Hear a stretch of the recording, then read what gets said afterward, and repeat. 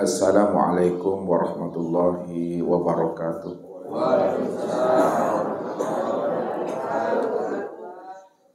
Alhamdulillah. Alhamdulillahilladzi nawir qulubana binuri ma'rifati wal yakin. Wa adkhilna ma'al awliya'i was solihin Wassalatu wassalamu ala sayyidina Muhammadin nabiyyi sayyidil mursalin wa ala alihi wa sahbihi rasulillahi ajma'in. Wa qala Allah ta'ala bil Qur'anil Karim A'udzu billahi minasyaitonir rajim. Bismillahirrahmanirrahim. Sanurihim ayatina fil afaq wa fi anfusihim hatta yatabayyana lahum annahu al-haq Wa bil ardi ayatul lil muqinin wa fi anfusikum afala tubsirun. Sadaqallahul azim. Bapak Ibu, saudara-saudaraku jamaah Masjid Al Husna Aceh Tenggara, Kota Cane yang dirahmati Allah. Tiada seindah kata dan semulia ucapan, marilah kita senantiasa bersyukur, berzikir dan bertafakur kepada Allah Subhanahu wa taala di mana Allah senantiasa menggenggam jiwa kita dalam setiap waktu, setiap menit, bahkan setiap detik daripada perjalanan kehidupan kita di alam dunia ini tidak lepas daripada pengawalan dan pengawasan Allah Rabbul Izzati. Wa rabbuka bi kulli hafiz bahwa Allah itu adalah zat yang senantiasa maha mengawal dan maha mengawas. Tentunya kehadiran Allah itu asma wa arab. Dia senantiasa maha mendengar apa yang terbetik dan terlintas di dalam rahasia diri dan apa yang tersembunyi di dalam hakikat rahasia diri setiap hambanya. Wa aroh dan ia juga senantiasa maha melihat dan setiap aktivitas dan perbuatan yang ia lakukan. Mulai sejak kita bangun pagi di waktu subuh hingga kita kembali tidur di waktu tengah malam. Wala takmaluna min amalin ilakuna alaikum suhuda. Tidak ada sebesar zarah pun aktivitas dan perbuatan yang kita lakukan sampai habisnya usia umur kita ini apakah kita mampu untuk tetap berjalan dan meniti di atas jalan hidayah dan petunjuknya atau sebaliknya kita berjalan dan meniti di atas jalan dosa dan maksiat. Ketahuilah kata Allah akulah yang menjadi saksi dan bukti dari setiap aktivitas yang kamu lakukan. Selawat dan salam kepada baginda Rasul Nabiuna Muhammad sallallahu alaihi wasallam Allahumma salli ala Muhammad wa ala ali Muhammad Bapak Ibu, saudara-saudaraku, para muhibbin Jamaah Masjid Al-Husna Aceh Tenggara, Kota Cane yang dirahmati Allah Bila mana hati dan jiwa seorang hamba tidak lagi dipermainkan oleh dunia, nafsu dan akal fikirnya. Maka ketika itulah seorang hamba mampu merasakan akan kedekatan dan kehadiran Allah itu beserta dirinya. Jauh yang tiada berentara, dekat yang tiada bersentuhan.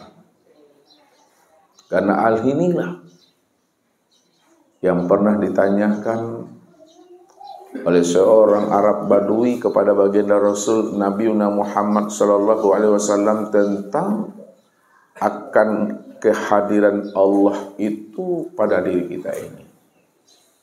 Makanya sahabat beliau bertanya kepada diri beliau, "Ya Rasulullah, apakah Allah itu jauh ya Rasul atau Allah itu dekat ya Rasulullah?" Lalu apa kata Rasul? Kenapa engkau tanyakan hal itu kepada aku? Allah itu jauh atau dekat? Aku bertanya ya Rasulullah, Sekiranya Allah itu jauh ya Rasul, tentu aku berdoa, bermunajat dan bermohon kepadanya tentu dengan menggunakan suara yang agak nyaring dan lantang. Akan tetapi jikalau Allah itu dekat ya Rasul, tentu aku berdoa dan bermohon kepadanya dengan cara berbisik-bisik. Ketika itu baginda Rasul Nabi Muhammad sallallahu alaihi wasallam tidak langsung memberikan jawaban secara spontan. Karena beliau itu Bapak Ibu di dalam hidupnya tidak pernah mandai-mandai. Apa sebabnya? Karena Allah telah membukakan tabir akan rahasia diri Rasulnya wa mayantiku anil hawa in huwa ila wahyu yuha. Tidaklah Nabi itu berbuat, berucap, memberikan suatu jawaban terhadap sebuah pertanyaan. Sahabat kepada dirinya. Melainkan Nabi itu berbuat, berucap, memberikan suatu jawaban dari sebuah pertanyaan sahabat kepada dirinya. Berdasarkan wahyu yang diwahyukan Allah ke dalam dadanya.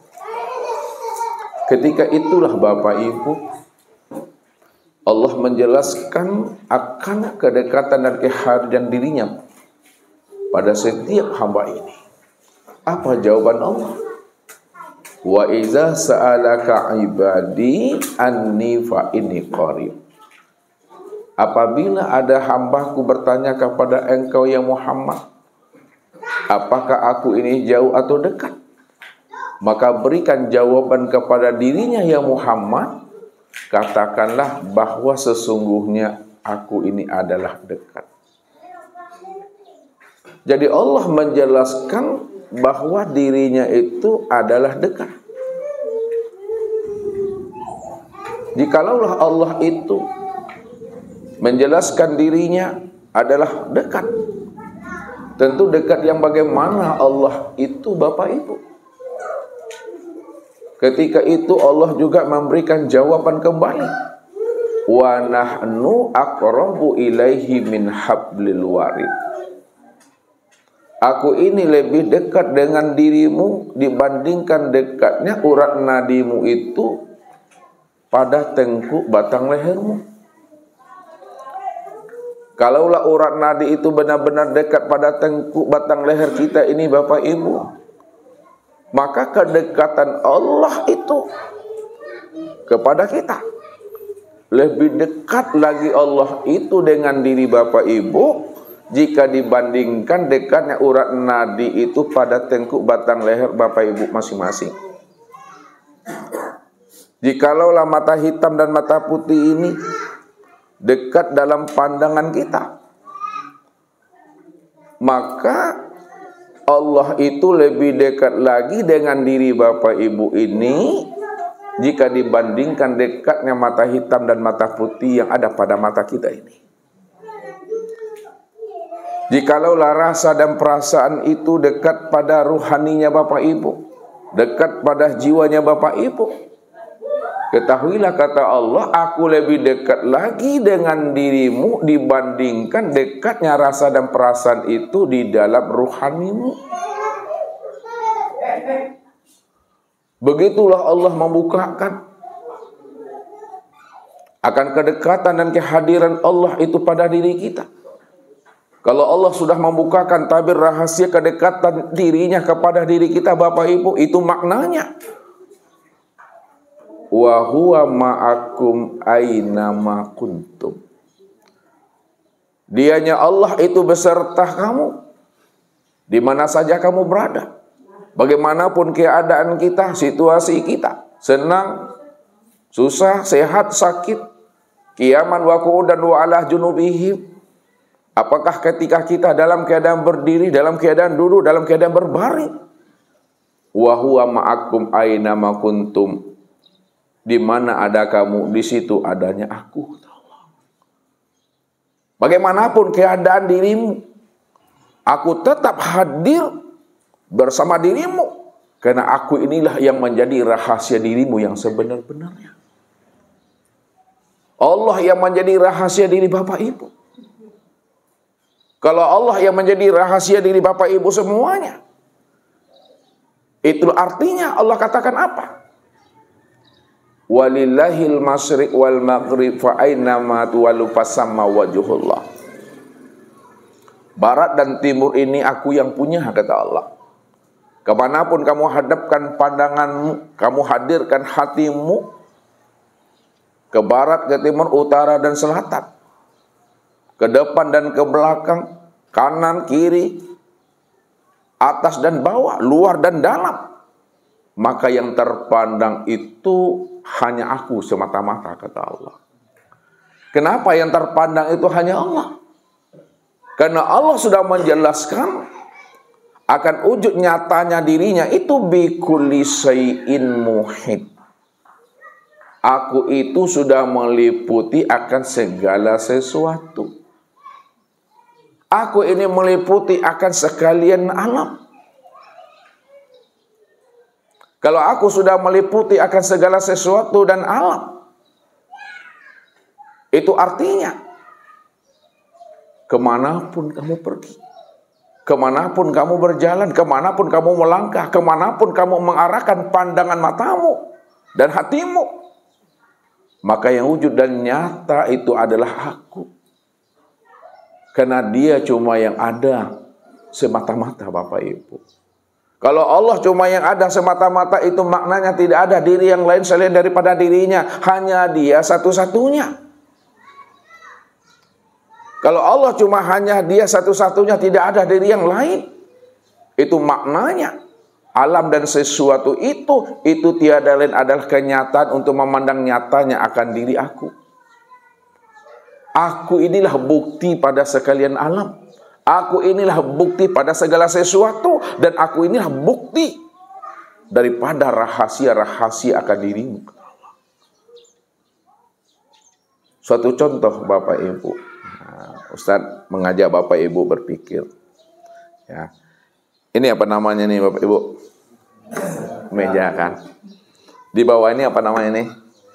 Ah, kolong. Ustadz nanya sama ibu-ibu dulu. Kalaulah ini meja dan di bawah meja ini namanya kolong, pertanyaan Ustadz, kolong ini bukti adanya meja atau meja ini bukti adanya kolong? Ibu-ibu, halo? kolong? Kolong bukti adanya meja.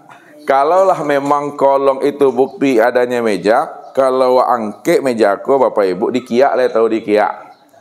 Diangkat dia. Diangkat meja ini Bapak Ibu, ada enggak kolongnya? Letakkan lagi meja ada? Berarti jawaban ibu-ibu ini benar atau salah? akan jale benar salahnya benar salahnya tuh ya bukan kolong ini bukti adanya meja kalau ibu katakan kolong ini bukti adanya meja kita angkat meja ini nggak ada kolongnya tuh letakkan lagi mejanya ada kolong di situ. Berarti yang benar yang mana bu? Meja itulah bukti adanya kolong. Ya ini menghantarkan pemahaman aja dulu. Kita naik lagi ke atas. Langit dan bumi ya buktinya adanya Allah atau Allah itulah bukti adanya langit dan bumi. Jangan sampai salah lagi, Bu. Ya, kalau salah jalan pulang dulu. Ya, kalau udah benar nanti pulang-pulang lah, tapi kalau udah habis waktunya. Langit dan bumi, alam semesta ini bukti adanya Allah atau Allah itulah bukti adanya langit dan bumi. Nah, coba satu orang ibu-ibu. Ibu. Ah, langit dan bumi bukti adanya Allah. Ustaz tanya lagi sama ibu. Jikalaulah langit dan bumi ini tidak ada, apakah Allah tidak ada?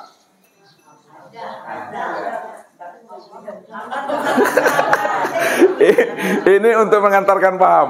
Kalaulah langit dan bumi bukti adanya Allah, ini agak tinggi channel step ibu-ibu ya, masih pagian kan? Udah serapan kan? Oh, udah, kalau belum sarapan sama-sama dengan Ustaz nanti. kalau langit dan bumi ini bukti adanya Allah, sekiranya langit dan bumi tidak ada, apakah Allah tidak ada? Tetap ah? Berarti adanya Allah tidak pernah bersandar kepada adanya langit dan bumi. Ya. Allah itu ada, Allah itu wujud, tidak pernah bersandar kepada adanya alam, tidak pernah bersandar kepada adanya sesuatu, tidak pernah bersandar kepadanya langit dan bumi, tidak pula Allah itu bersandar adanya itu kepada adanya diri Bapak Ibu. Berarti yang benar yang mana? Yang benar Ibu Ibu. Nih. Yang benar yang mananya tadi? Allah itu bukti adanya langit dan bumi atau bumi ini, langit ini bukti adanya Allah? Ah, tuh kan jale batuannya tuh. Allah itulah bukti adanya langit dan bumi. Kalau tak ada Allah, tak ada langit dan bumi. Makanya Allah itu ada dengan sendirinya. Ya. Kalau Allah cuma ada dengan sendirinya. Dia cuma yang wujud, wujudnya mutlak, tidak ada diri yang lain. Itu maknanya. Jangan disandingkan Allah dengan sesuatu yang tidak pernah ada. Jangan disanding-sandingkan Allah, jangan diserupa-serupakan Allah, jangan disama-samakan Allah dengan sesuatu yang tidak pernah ada. Langit dan bumi kan ada nih Ustaz. Di kita kan ada, benar. Langit dan bumi ini ada. Sesuatu itu ada. Tapi adanya sesuatu langit dan bumi. Itulah nyatanya tempat memandang wujud nyatanya diri Tuhan itu. Kenapa demikian Bapak Ibu? Nah, ini jawabannya. Ya, nah, kalau ingin paham jawabannya, tunggulah pesan-pesan berikut ini. Allah menjelaskan, nah, ya Bapak Ibu, tentang rahasia dirinya. wal awalu wal akhiru wa zahiru wal batinu Dialah yang awal Dia itu siapa tuh Bapak Ibu? Ah, Allah tuh Dia yang awal Dia pula lah yang akhir dia yang zohir dan dia pula lah yang batin. Apa maknanya itu? Dia yang awal. Maknanya dia yang awal itu awalnya tidak ada permulaannya. Awalnya Allah itu tak ada ujungnya. Nah, kenapa dia awal tak ada ujungnya, tak ada awalnya? Karena dia ada dengan sendirinya. Ya. Maknanya apa? Sebelum adanya kehidupan, sebelum adanya sesuatu, dia yang lebih dahulu ada sebelum adanya sesuatu dan kehidupan itu. Makanya dikatakan Allah itulah diri yang awal itu. Kalau dia diri yang awal, dia juga menjelaskan wal akhiru, dialah diri yang akhir. Akhir itu maksudnya tidak ada kesudahannya. Tidak ada pangkalnya. Ya. Kalaulah Allah itu akhir tidak ada kesudahannya, tidak ada pangkalnya. Itu juga disebabkan karena dialah satu-satunya yang wujud dan yang ada. Dialah yang dikatakan awal, dia pula yang dikatakan yang akhir. Wazohiru dan dialah diri yang zohir. Zohir apa artinya? Zohir itu nyata. Allah itu adalah diri yang zohir. Zohirnya Allah itu nyata pada sekalian alam. Zohirnya Allah itu nyata pada sekalian alam. Allah kan tidak berbentuk dan tidak berupa Ustaz. Betul tuh. Allah tuh lesa kami selesai. Walaupun Allah itu zahir, dia tidak serupa dan tidak berbentuk dengan sesuatu, tapi ingat segala bentuk dan rupa pada segala sesuatu itulah bentuk nyatanya akan dirinya yang zahir itu. Kenapa? Karena dia cuma yang wujud, yang tunggal, yang mutlak itu Bapak Ibu. Ya. Kemudian dia juga menjelaskan dirinya yang batin. Batin apa artinya Bapak? Nah, tersembunyi. Walaupun batin itu maknanya tersembunyi, namun batinnya Allah itu nyata pada segala yang wujud. Dia batin tapi tidak tersembunyi. Kenapa dia batin tidak tersembunyi? Karena dia wujud, dia nyata pada segala sesuatu. Apa sebabnya dia batin tidak tersembunyi? Nyata pada segala sesuatu. Itu dikarenakan karena dirinya cuma yang ada, dirinya cuma yang tunggal, dirinya cuma satu-satunya, tidak ada diri yang lain. Itulah sebabnya Allah menjelaskan yang awal itu aku. Kalau tak paham juga Bapak Ibu, aku ini yang awal, aku pula yang akhir, aku pula yang zohir, aku pula yang batin. Kalau aku awal akhir zohir dan batin, maka akunya awal akhir zohir dan batin itu bikuli syai'in muhid.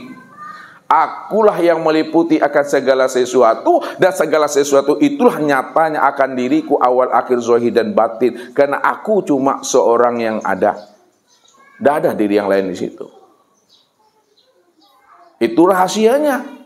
Fa aina ma tuwallu pasama wajhullah. Ke mana pun kamu hadapkan wajahmu, yang nampak itu cuma aku. Siapa yang tidak mampu memandang aku pada segala yang ada? Siapa yang tidak mampu memandang aku pada segala yang wujud? Maka itulah yang dikatakan butuh sange itu. Lain tidak tahu artinya Bapak Ibu? Lain tidak? Tidak. butuh sange itu Bapak Ibu sangat buta, benar-benar buta. Itu tuh contoh. Ini contoh nih Bapak Ibu. Ibu-ibu upakan kain ke tukang jahit disuruh buat baju kurung. Ketika kain itu sudah jadi baju kurung, ibu-ibu tanya juga lagi ke tukang jahit, tukang jahit mana kain saya tadi? Padahal udah dikasihnya sama ibu udah berbentuk baju. Siapa yang tidak mampu memandang kainnya pada baju kurung itu, itulah yang Ustaz maksud namanya butuh sangit dari itu. Benar buta tuh. Rupanya kita selalu tertipu memandang bentuk dan rupa sebenarnya Bapak Ibu. Ya, sekarang kita lihat lagi. Ini apa gelasnya, Bu? Gelas apa namanya? Gelas kaca ya. Kan ada lagunya kan? Ya. Ketika kaca ini sudah menjadi gelas dia, kenapa manusia tak mampu memandang kaca ketika dia memandang gelas ini? Karena manusia kebanyakan selalu tertipu memandang bentuk dan rupa. Ya. Ketika kaca sudah berbentuk gini kan gelas namanya. Tak mampu dia memandang kaca bahwa kaca inilah sebenarnya yang sudah berbentuk gelas. Tapi bagaimana caranya kita mengajarkan anak kita supaya anak kita mampu memandang kaca pada gelas ini? Diapakan gelas ini, Bu? Supaya anak kita ini bisa memandang kaca pada gelas ini, diapakan gelasnya nih, Bu? Ibu? Hah? Ah, diampin kacoa, nggak dipecahkan. Ketika gelas ini dah pecah berkeping-keping, barulah nyata kaca itu yang sebenar-benarnya. Makanya ketika ibu-ibu keluar dari masjid ini, terluka kaki kena kaca. Tahukah ibu-ibu kaca apa yang masuk di situ? Gelas, piring, semprong. Tahu? Tahu enggak kaca yang yang masuk itu kaca piring, kaca gelas atau kaca-kacaan? Hah? Ini, ini, ini lihat kena cepat ngomongnya ya.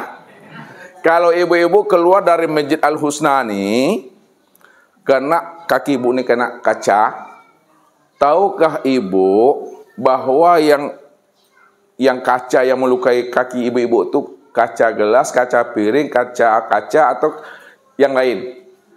Tahu? Bukan kaca gelas, bukan kaca piring, yang penting kaca karena nggak berbentuk.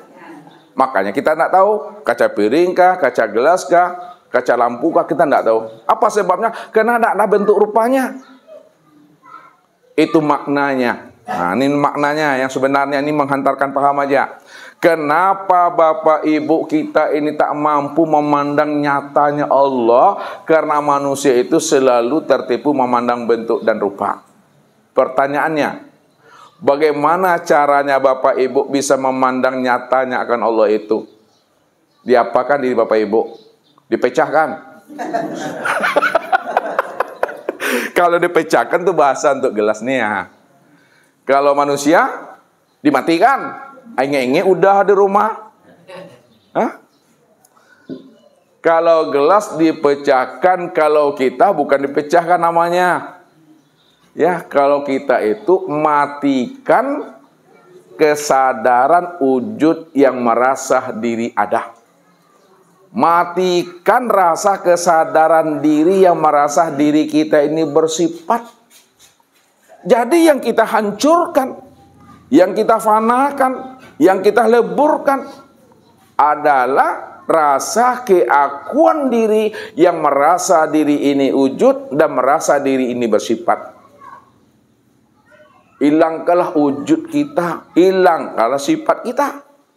Kalau wujud kita telah hancur, sifat kita telah hancur, wujud kita telah tiada dan sifat kita telah tiada. Siapa yang sebenar-benar wujud dan yang bersifat Bapak Ibu? Yang sebenar-benar wujud dan bersifat itu hanya Allah. Di situlah Bapak Ibu mampu menyadari sesadar-sadarnya bahwa diri Bapak Ibu itu sejak mula adanya la haula wala quwata illa billah. Kadang kita ngomongnya enak kali, ya kan? Tapi tak tahu kita makna yang sebenarnya itu. Sudah ngomong la haula wala quwata illa billah, dirampok juga hak Allah itu lagi. Merasa juga memandang, merasa juga mendengar, merasa juga yang berdiri. Ketika kita merasa melihat, mendengar dan berdiri serta duduk, maka tanpa kita sadari kita sudah merampok hak Allah. Itulah orang yang mempermain-mainkan Allah, orang yang memperolok Allah itu. Jadi diri Bapak Ibu, diri Ustadz tak pernah ada sama sekali itu. Kapan diri Bapak Ibu tidak pernah ada sama sekali? Kapan Ibu diri Bapak Ibu tidak pernah ada sama sekali? Hah? Sejak mula adanya tak pernah ada. Sejak mula jadinya tak pernah ada. Kapan sejak mula adanya, sejak mula jadinya diri Bapak Ibu tidak pernah ada. Sejak Allah itu nyata. Sejak Allah itu wujud. Sejak Allah itu menamai dirinya Allah. Sejak itulah Bapak Ibu tidak pernah ada. Kalau ada yang mengatakan dirinya ada, itu ngaku-ngaku namanya itu. Ya? Nah, siapa yang ngaku-ngaku dirinya ada, abeko terima julu-julu di barzah tuh. Julu-julu kan tahu nak terima balasan itu nanti. ya? Apa kata Allah? Ini Allah bilang nih, Siapa yang ngaku-ngaku ada, padahal dia tidak ada, ngaku-ngaku ada, itu merampok hak Allah. Allah bilang begini, Innalladzina kazzabu bi ayatina wastakbaru anha la tufattahu lahum abwabus sama wa la yadkhulunal jannata hatta yalijal jamal pisamil qiyat wa kadzalika najzil minal mujrimin. Tahu artinya itu? Lain enggak tahu. ah, ini terjemahan. Innalladzina kazzabu bi ayatina. Sesungguhnya orang-orang yang mendustai ayat-ayat Allah, orang yang mengingkari, orang yang menolak akan wujud nyatanya Allah yang maha nyata. Kalau alam ini nyata, diri kita ini nyata, Allah itu lebih nyata daripada alam, lebih nyata daripada diri kita. Lalu kita tolak dan kita ingkari akan nyatanya Allah itu wastakbaru anha. Lalu dia sombong di hadapan Allah membusungkan dada di hadapan Allah. Ketika dia sudah menolak akan nyatanya Allah yang wujud lalu dia membusungkan dada bersifat soongi di hadapan Allah. La tufattahu lahum abwabus sama. Orang yang hongi orang yang sombong orang yang sok-sok tidak aku bukakan pintu-pintu langit bagi mereka. Lai tahu Bapak Ibu pintu langit itu di mana? Lai tahu? Enggak, asal mustad itu. Tidak aku bukakan pintu-pintu langit bagi mereka. Maknanya, siapa yang beramal, siapa yang beribadah, ibadahnya itu mantul. Ya, ibadahnya itu kembali lagi pada dirinya, nggak sampai kepada aku terhijab. Karena aku tutup pintu langit bagi dirinya. Pintu langit itu pintu makrifat. Pintu makrifat pada diri Bapak Ibu, itulah pintu kolbu. Makanya dikatakan hatinya Bapak Ibu ini kalbul mukmin baitullah. Hatinya Bapak Ibu itu itu yang rumahnya Allah. Jadi orang yang tertutup mata hatinya itu maknanya sudah tertutup pintu langit bagi dirinya.